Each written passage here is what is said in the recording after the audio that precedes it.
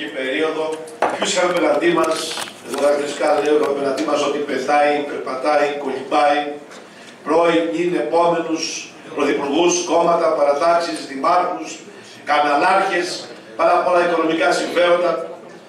Τα είπε λοιπόν με το όνομά τους ο Τούνης ο Πέτρος όλα αυτά σήμερα. Και είναι ευχής έργο που σήμερα στο Κρατικό Συμβούλιο συζητάμε. Πρώτη στην Ελλάδα το θέμα του εκλογικού νόμου και της αλλαγής το οποίο προσπαθεί να επιβάλλει η κυβέρνηση της Νέας Δημοκρατίας.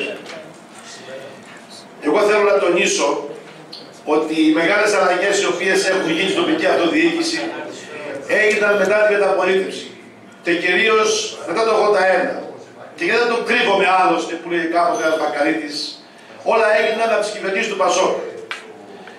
Θυμάμαι νεαρός που ήμουν υποψήφιος νομαρχιακό σύμβουλος στην πρώτη ερετή νομαρχία.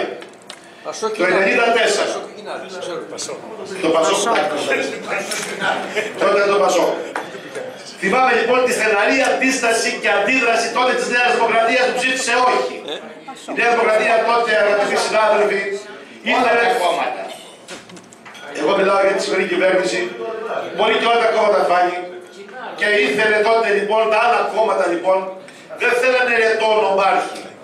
Θέλανε κάποιον αποτυχεμένο από την Εξανδρούπολη βουλευτή να έχει τα λίστα προφέτα της Αρκαδίας, Κορινθίας, Λακωνίας. Δεν θέλανε τον έλεγχο από αντιπολίτευση.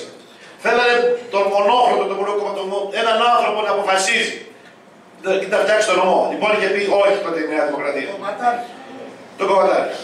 Προχωράμε λοιπόν στο δεύτερη, στη δεύτερη φάση. Το Πασόκ πάλι κάτω την Καποδίστρια. Πάλι όχι και πει η Νέα Δημοκρατία τότε, γιατί θέλει τις μικρές κοινότητες των 15 κατοίκων, 15 ψηφοφόρων. Ήταν κατά την για τη δημοκρατία αυτό το πράγμα. Δεν μπορούσε να γίνει ανάπτυξη από τις μικρές κοινότητες, τα μικρά κοινωνικά συμβούλια. Και πάλι τότε όχι είχαμε πει. Περνάμε στο Καλλικράτη. Πάλι το Πασόκ, δεν το κρύβουμε άλλωστε. Έκανε τη μεγάλη αλλαγή, τη μεγάλη τομή στο Καλλικράτη. Ένα ελπιδοφόρο νόμο που έφερε τα πάνω κάτω στην τοπική αυτοδιοίκηση. Και εκεί λοιπόν πάλι όχι είχαμε πει.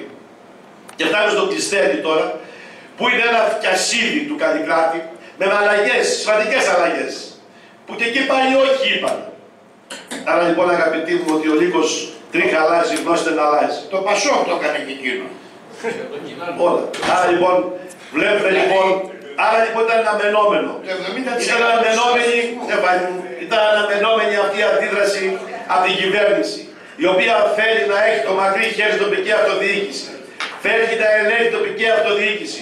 Για μένα δεν πιστεύει στην τοπική αυτοδιοίκηση και το αποδεικνύει καθημερινά.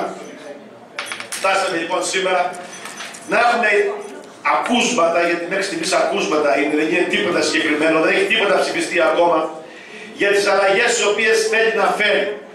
Να φέρει στην τοπική αυτοδιοίκηση.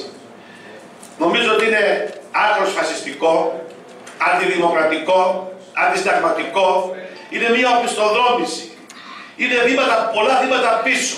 Και πρέπει εμείς σαν ένα δημοκρατικό συμβούλιο να αντιδράσουμε. Να αντιδράσουμε πρώτοι σε όλη την Ελλάδα, να φτάσει η φωνή μας και στις άλλες περιφέρειες της χώρας, στους Δήμους και όλοι μαζί να γίνουμε μια ομάδα αντίδρασης στην οπισθοδρόμηση, την οποία θέλει να φέρει η κυβέρνηση για τους δικούς της λόγους. Και όπως καλάμε και ο Περιφερειάρχης, και ένας λόγος είναι οι δεσμεύσεις που έχουν οι περιφερειάρχες, οι οποίες δεν μπορούν να υλοποιήσουν τώρα και κοιτάνε πώς θα βρουν κάποιον τρόπο άλλον, να κάνει μια τρίπλα εντός παρεμβέσεω για να μπορέσουν να ξεπεράσουν τα προβλήματα αυτά. Είναι ευχής έργο λοιπόν που σήμερα εδώ συζητήσει και αυτό. Και πρέπει όλοι μαζί στεναρά να αποφασίσουμε το όχι στο πιστοδρόμιο για τοπική αυτοδιοίκηση. Γιατί οι πολίτες οι οποίοι ψήφισαν τελευταία φορά ψήφισαν με κριτήρια ψαραλογική. Δεν μπορεί λοιπόν κανείς να έρθει και να αλλάξει και να αλλοιώσει την πρόθεση των πολιτών. Α γίνουμε λοιπόν εμείς οι κήρυκες να περάσει το μήνυμα σε όλη την Ελλάδα ότι μακριά τα χέρια από τα περιφερειακά και δημοτικά συμβούλια. Ευχαριστώ πολύ.